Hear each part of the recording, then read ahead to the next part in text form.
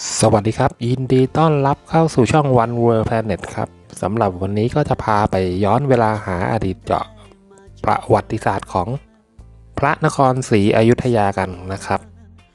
สำหรับในวันนี้จะเป็นเรื่องราวเกี่ยวกับวัดเกตวังช้างแลพระเนตรแล้วก็คุ้มขุนแผนครับ ในกฎมนเทียนบานได้แบ่งตัวพระนครศรีอยุธยาออกเป็น 4 แขวง คือคุ้มขุนแผนและ วัดเกตนะครับ ตั้งอยู่ที่ตำบลประตูชัยอำเภอพระนครศรีอยุธยาครับ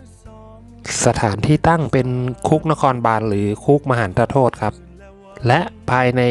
คุกจะมีวัดเกตเป็นศาสนสถานประจำใช้ในการประกอบกิจและพิธีกรรมต่างๆครับ ตรงนี้ก็เป็นบรรยากาศครับรอบๆบริเวณนะครับ โดยสมัยก่อนนะครับจะมี หอกลองเป็นจุดกึ่งกลางของการแบ่งเขตการปกครองดูแลครับ แต่สมัยนี้หอกลองไม่มีซากหลงเหลือให้เราเห็นแล้วล่ะ ในคลิปก็ยังเป็นป้ายบอกทางไปวัดต่างๆนะครับ ใครมาเที่ยวที่นี่ก็จะไปได้อีกหลายจุดเลยครับ จะไหว้พระ9วัดก็สะดวกครับ และวังช้างแลพระเนียดก็ในช่วงที่มีวิกฤตโควิด -19 ก็เงียบไปเลยนะครับ น้องๆช้างทั้งหลายก็ ประสบปัญหาในเรื่องของอาหารแล้วก็รายได้นะครับ ตอนนี้ก็กลับมาคึกคักเหมือนเดิมแล้ว เดี๋ยวเราไปฟังเรื่องราวของวัดเกตกันต่อครับอ่าในคลิปนี้ดูก่อนตรงนี้เป็นวังช้างแลพระเนียดนะครับ ก็จะมันขี่ช้าง นั่งช้างไปชมเมืองกันได้ครับ ก็จะเดินผ่านวัดเกตไปครับ วัดเกตนี่เป็นวัดนะครับ แต่ตอนนี้ไม่มีอ่าไม่มีโบสถ์ไม่มีอะไรให้เห็นแล้วก็จะมีแต่ซากที่ เราบูรณะขึ้นมานะครับ หลังจากเดินผ่านวังช้างมานะครับ ตรงนี้ก็จะเห็น เห็นพระเจดีย์ประธานครับ ซึ่งเข้าใจว่าเป็นปรางแล้วก็เป็นวิหารทางด้านทิศตะวันออกครับ ส่วนตรงนี้ก็เป็นสระน้ำโบราณครับ ในวันที่ผมมานี้ก็คุ้มขุนแผนยังอยู่ในช่วงที่การทำการบูรณะอยู่นะครับ ตรงนี้เป็นทางเดิน ตรงไปคุ้มขุนแผนครับ ถ้าปล่อยเสียงเดิมๆก็จะเป็นเสียงเจียลั่นเลยครับ ในคลิปก็จะเห็นองค์พระเจดีย์แล้วนะครับ ผมกำลังเดินตรงไปทางแยกแล้วก็จะเลี้ยวขวาไป ในการขุดแต่งและบูรณะเมื่อสมัยต้นๆนะครับ ผู้รับผิดชอบให้ความสนใจเกี่ยวกับหลักฐานทางด้านวิชาการน้อยมากครับ การเก็บข้อมูลการศึกษาเปรียบเทียบศิลปกรรม สถาปัตยกรรม ตลอดจนการออกแบบเพื่อบูรณะที่ยังไม่เข้มงวดกวดขันมากนัก ในการขุดแต่งและบูรณะในสมัยต้นๆนะครับ ผู้รับผิดชอบให้ความสนใจเกี่ยวกับหลักฐานทางด้านวิชาการน้อยมากครับ แล้วก็ให้ความเห็นให้ข้อมูลไม่ค่อยจะตรงกันครับ ดังนั้นพระเจดีย์ทรงประหลาดของวัดเกตจึงถูกบูรณะขึ้น เดี๋ยวก็จะได้เห็นกันใกล้ๆนะครับ นี่ก็เป็นเรื่องราวของการบูรณะ โบราณสถานนะครับที่มันบางครั้งก็ผิดเพี้ยนออกไปเยอะ นี่ผมก็เดินมาถึงแล้วมาเก็บข้อมูลนิดนึง ต่อมานะครับเมื่อมีนักวิชาการจากกลุ่มอื่นได้นำหลักฐาน ซึ่งเป็นภาพถ่ายเก่าก่อนการขุดแต่งและบูรณะมาเสนอเปรียบเทียบ จึงได้เห็นความชัดและความแตกต่างความผิดพลาดนะครับ นี่ก็เป็นอีกหนึ่งอุทาหรณ์นะครับ บางทีเรามาเที่ยวในโบราณสถานของไทยเก่าแก่เราไม่รู้นะครับว่าตรงนี้ คืออะไรเป็นยังไงเราก็ต้องมาท่องเที่ยวเชิงอนุรักษ์แล้วก็มาสืบค้นข้อมูลที่แท้จริงด้วยนะครับ เห็นไหมครับ พระเจดีย์ไม่เหลือสภาพของวัดแล้ว องค์พระที่ประจำอยู่ตรงนี้ก็ไม่สมบูรณ์ครับ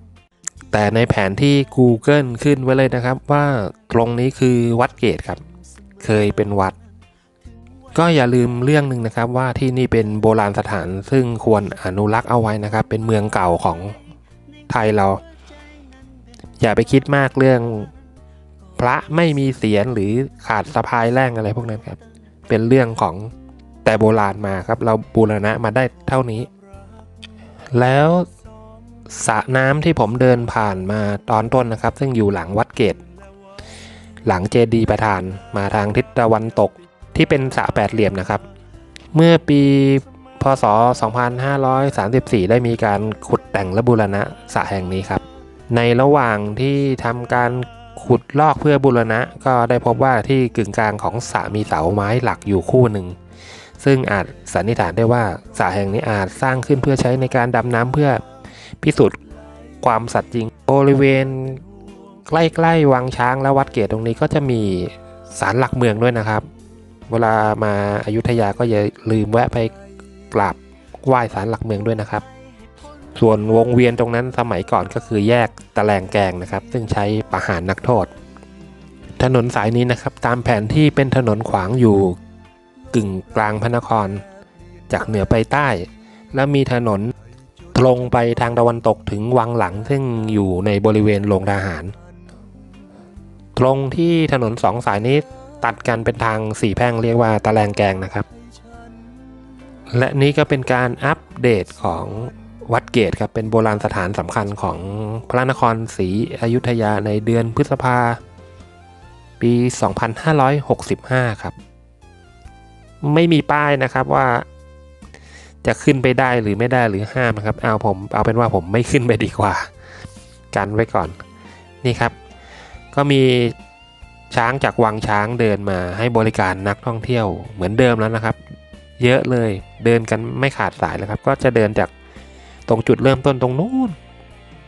ตรงทางขึ้นนะครับ ใครมาอายุทยาหรือเคยมานั่งแล้วจะทราบดีครับ แล้วก็จะเดินมาวนอยู่ทางหน้าวัดเกตเนี่ยครับ แล้วก็เดินวนกลับไป น้องๆก็มีอาหารกินกันแล้ว มาเล่าประวัติศาสตร์ต่อครับ เมื่อแผ่นดิน กรุงศรีอยุธยาล่มสลายนะครับ ราชธานีโยกย้ายไปตั้งในที่แห่งใหม่ที่กรุงเทพอยุธยาก็ถูกทอดทิ้ง